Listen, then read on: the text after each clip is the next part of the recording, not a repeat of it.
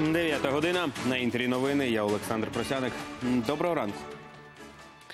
Доба на сході країни минула без втрат. Російські бойовики дещо зменшили інтенсивність вогню. 42 обстріли за добу. Артилерії не застосовували. Натомість били з важких мінометів. Сьогодні ворог атакував сім разів. Здебільшого вів провокативний вогонь, намагаючись викликати стрілянину у відповідь. Нагадаю, нині на Донбасі з візитом перебуває спецпредставник Держдепу США Курт Волкер. Під ворожими обстрілами напередодні опинилося Зайцеве, що під окупованою Горлівкою. У цьому селищі позиції військових та російських найманців розділяють десятки метрів. Як виживають люди на лінії вогню у репортажі Ірини Баглай. Рядочок до рядочка, кожен клаптик землі засіяний, неподалік навіть теплички. Щодня Віра Григорівна не розгинається біля свого господарства. Пенсіонерці доводиться вирощувати овочі під кулями та снарядами російських найманців. Тиждень тому під час ворожого обстрілу її сусідка не встигла добігти до укриття. Жінку поранило прямо на городі. Ну вот стреляют мы делаем. Не боїтесь? Боюсь. И очень боюсь. А делать надо. А жить чем? За деревами, показує жінка, те, що залишилося від її з сестрою будинків. Та хата сгорела, а это, ш- а эту все разбили. Вот гараж был, его нету вообще. Его вообще нету, снесло все. Кухню тоже всю разбило и- и блоки выбило. Этот сарай развалило вот так на части. Розбили сарай, вікна там в чотирьох будинках повилітали, дахи побиті. Ну, ведуть ефективний вогонь, але по місцевому населенню. А тут вже пролягає межа, що ділить село на дві частини: підконтрольну Україні та тимчасово окуповану. З нульової позиції теж видніються будинки, тільки вони давно вже не мирні. В этих домах э, располагаются боевики, оттуда ведут спостережения. И точно так же работают со снайперских винтовок и с пулеметов. Сначала работает пулемет, и под прикрытием пулемета начинает работать снайпер. Чуємо постріли, та це виявляється, бойовики цілять не по наших позиціях. Підствольник працює А куди вони стріляють? між собою. У них дуже часто ротація йде, і вони щось там не ділять. Виход. Цю позицію російські найманці рясно поливали артилерійським вогнем. З самохідних артустановок випустили зо два десятки снарядів по українських піхотинцях.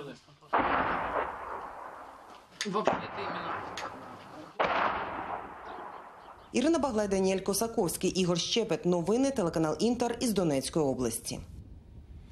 Не їхати до Росії на чемпіонат світу з футболу закликав українців міністр закордонних справ Павло Клімкін. Дипломат зазначив, що проти наших громадян гарантовані провокації, тож почуватися в безпеці вони не можуть.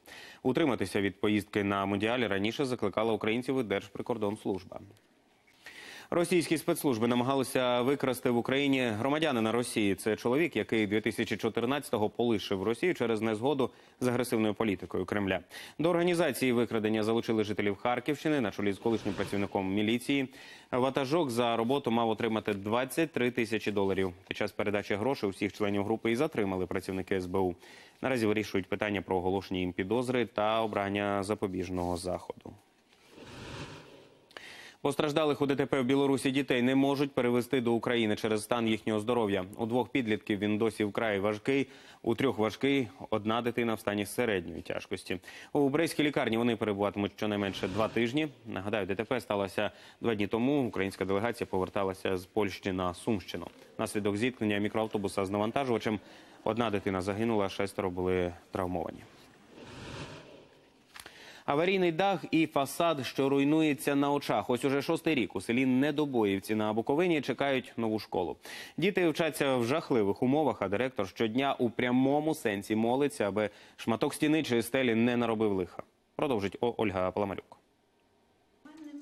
Невелика шафа замість підсобки. Тут на трухлявих полицях учителька географії Лідія Пантелеївна зберігає карти та підручники. Кліматичні пояси, народи світу, технічні культури.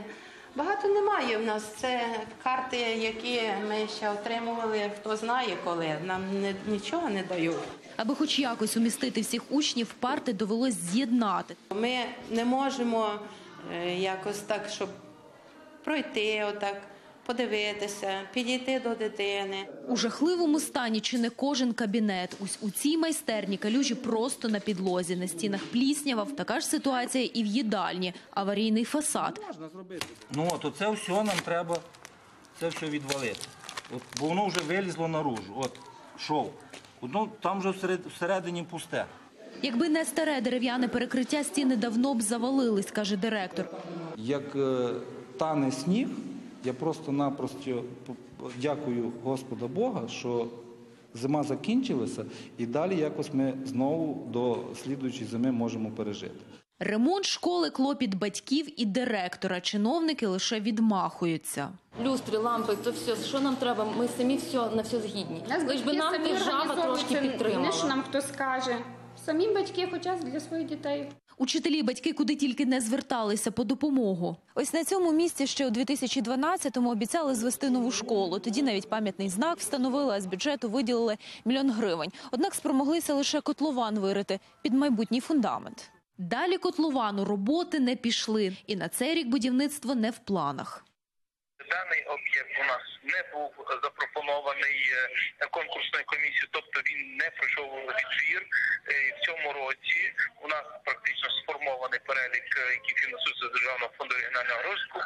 Чиновники від освіти не проти спорудження нової школи, але все впирається у відсутність коштів і розмірковують, чи не переселити учнів до профтехліцею у сусіднє село. Та поки чиновники думають, діти і далі навчаються в аварійній школі. Ольга Паламарюк, Ігор Ріга, новини телеканал Інтер, Чернівецька область.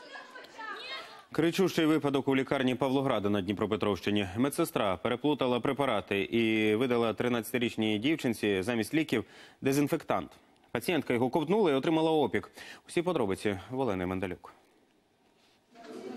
В обласній дитячій лікарні влада з опіками стравоходу. Їй боляче ковтати навіть воду. Так, дівчинку пролікували у Павлоградській лікарні. Там владі діагностували запалення підшлункової залози. В перший же день лікування медсестра замість пігулок дала їй дезінфікуючий засіб. Я сделала глоток, а то начал все жечь. Я ей говорю, что мне больно, она говорит, да как, не, ну, не может быть такого. И потом она как посмотрела, что да ладно, ахнула, она говорит, меня с работы сейчас попрут, мне все жгло, мне жгло горло, ж- жег нос, желудок. Шлунок владі промивали три години. Лише коли приїхала мати, дівчинку відвезли швидкою до обласної дитячої лікарні. Як з'ясувалося, замість ліків їй дали дезінфікуючий засіб. Телефоном медсестра, яка переплутала препарати, пояснити нічого не змогла. Валентину Сороченко вже відсторонили від роботи. Извините, не могу. Не могу. Я разнервничаюсь, я в больницу попаду. Мне плохо очень, не так. У лікарні проводять службове розслідування, поки від роботи відсторонені і головний лікар, і завідувач дитячим відділенням. Призначені виконувачі обов'язків виправдовують медсестру. Мовляв, пакети з лікарським препаратом і дезінфікуючим засобом ззовні майже однакові, і обидва у вигляді гелю. Ну, так она сначала положила их сюда, наверное, а потом отсюда же и брала. Там же не одно это лекарство, еще другие лекарства брали. А от чому дезінфікуючий засіб зберігався разом із медикаментами, з'ясовують правоохоронці. Зараз поліція проводить першочергові слідчі дії для того, щоб найближчим часом повідомити цьому працівнику е, про підозру і в подальшому брати міру запобіжного заходу. Стан дівчинки нині середньої тяжкості. У лікарні вона пробуде щонайменше 10 днів. Получают антибактериальную терапию, противовоспалительную терапию, гормональную терапию. Планируется проведение контрольной гастроскопии. Постраждала влада та її мати. Сподіваються, що винних покарають. Якщо поліція доведе недбалість медсестри, їй загрожує до трьох років тюрми. Олена Медалюк, Євген Кононцов, новини телеканал Інтер, Дніпропетровська область. Нашої з вами допомоги потребує 12-річний Олексій Гіленко. Торік у вересні йому встановили рідкісний діагноз саркома Юінга, рак поперекового відділу хребта. Після двох операцій і п'яти курсів хіміотерапії лікарям вдалося домогтися ремісії пухлини, але для цілковитого одужання цього замало. Необхідно продовжити лікування, застосувати томотерапію. Коштує вона 130 тисяч гривень, але такої суми батькам Олексія самотужки не зібрати. Ще рік тому Олексій жив звичайним життям, ходив до школи, займався айкідо та тепер у лікарні далеко від друзів. Вчиться дистанційно. Я очень скучаю по друзьям. Навещаю часто и бывшие одноклассники, и сейчас, которые со мной учатся. Я хочу обратно вернуться в лицей, ну и там подтянуть математику. Та навіть під час лікування хлопчик не втрачає оптимізму. Лікарі подарували йому не лише шанс на життя, а й нову мрію стати нейрохірургом. Почему-то понравились нейрохирурги, которые меня оперировали, так мне что-то захотелось. Саркома Ювінга – рідкісне дитяче захворювання. Пацієнтів з таким діагнозом в Україні лише вісім. Виявили страшну хворобу не одразу. И начала спина очень сильно болеть. Ну и доктора говорили, что это подростковая, возможно. Ну и лечились у невролога, а затем сделали МРТ и обнаружилась опухоль. Зараз за плечима Олексія уже дві операції та п'ять хіміотерапій. Це допомогло. Наразі пухлина зникла, однак для повного одужання цього замало. Якщо не продовжити лікування, зусилля медиків можуть виявитися марними, а звичайна променева терапія для лікування раку хребта не підходить. ще кращі методи лікування, які називаються томотерапія. За допомогою цього методу дозу променевої терапії можна значно підвищити, і тоді ефективність лікування буде набагато більшою. Пухлина е, повністю регресувала, її немає, але це не значить, що вона знову не, не виникне. Ми знаємо природу цієї пухлини. Провести томотерапію необхідно протягом місяця, інакше пухлина може знову повернутися. Коштує це 130 тисяч гривень. Самотужки назбирати таку суму родина не може, тож звертаються до небайдужих, бо впевнені, разом зможуть врятувати Олексія і повернути йому щасливе життя. Тяжело очень свыкнуться с этой мыслью, что твой ребенок болен. Это все-таки самое такое жгучее, самое болезненное восприятие. Ну ничего, у нас есть надежда. Мы верим во все лучше. Мы знаем, что с такой поддержкой у нас все будет хорошо. Катерина Сривкова, Вадим Ривун, новини телеканал Інтер. Допомогти Олексієві може кожен. Необхідні реквізити зараз на екрані. Також їх можна знайти на нашому сайті подробності.ua у розділі Ми допомагаємо.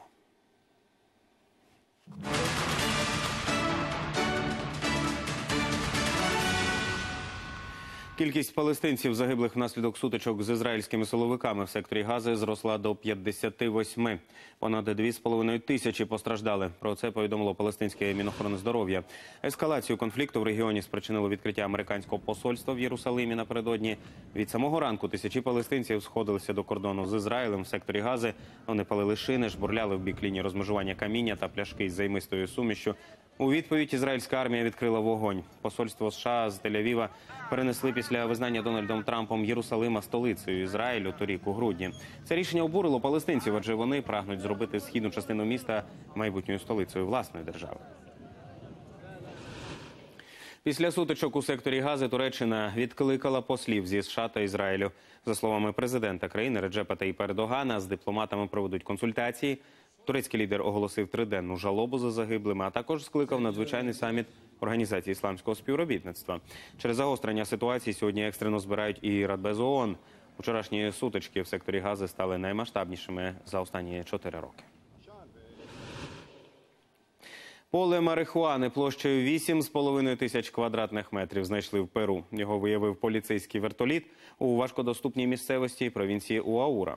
Правоохоронці пішки діставалися до плантації кілька днів і встигли саме вчасно, кажуть в поліції, бо заборонений урожай саме готували до продажу. Сьогодні міжнародний день сім'ї. Напередодні цього свята наші журналісти поспілкувалися з батьками, що виховують 24 дитини, і дізналися, у чому секрет міцної дружньої сім'ї та чи можна його передати у спадок. А это что у вас? Это дерево, небо, дом пам-пам. Вони разом уже 36 років, але й зараз дивляться один на одного закоханими очима. Тетяна та Володимир Батурські познайомилися ще абітурієнтами педуніверситету. На третьому курсі ходили на побачення, на п'ятому побралися. Потому что когда ты молодой, когда тебе 20, 22, э, э, нет еще никакой там ответственности особенной, но, э, но проходит время, и, э, и, и ты попадаешь в разные ситуации, и, э, и ты учишься жить, учишься жить в- вместе. Створивши сім'ю, Батурські не лише навчилися жити разом, а й стали батьками трьом своїм та 21 прийомній дитині. Вначале у нас трое было, потом пятеро, потом и потом 15 было. Э, И э, сейчас мы считаем, что у нас 24 ребенка прошло через нас. Сейчас в нашей семье семеро приемных детей Три наших дочери живут с нами и двое, вну- двое, двое внучек у нас. Секрет міцних стосунків у коханні, вірності та умінні вибачати, стверджує подружжя. Для меня семья это, это моя, моя жена. Это номер один. Я и моя жена.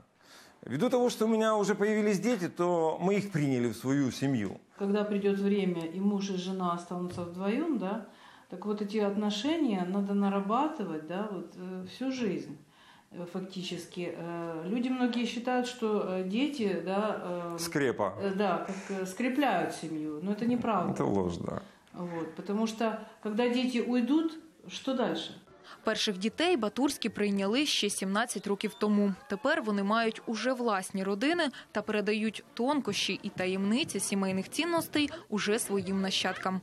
Перед детьми просто надо жить. Надо честно жить перед ними. Пример родителей, он, он важнее, чем даже слова. Э, Потому что ва- важны слова, да. Но вот это сочетание ты сказал и сделал, э, вот, и твой личный пример, он, э, он определяющий. У нас есть надежда, что у нас хорошие будут дети. Юлія Касян, Сергій Єрьоменко. Новини телеканал Інтер. У Вінзорській кондитерській до меню додали міні-версії весільного торта принца Гаррі та Меган Маркл. 10-сантиметрові смаколики печуть практично за його рецептом. Наприклад, невеличкі коржі перемащують таким самим лимонно-бузковим кремом. Коштують тістечка 4,5 фунти. До Вінзора, де в суботу Гаррі та Меган святкуватимуть весілля, вже приїжджає чимало гостей, тож королівські ласощі у пекарні не залежуються. За 157 мільйонів доларів продали з молотка найбільшу картину італійського художника Амадео Модільяні. Торги відбулися напередодні в Нью-Йорку. Полотно Оголена, що лежить, стало четвертим серед найдорожчих творів мистецтва, які коли-небудь продавали на цьому аукціоні. А Амадео Модільяні рекордсменом серед художників, бо аж дві його картини сягнули ціни понад 150 мільйонів доларів.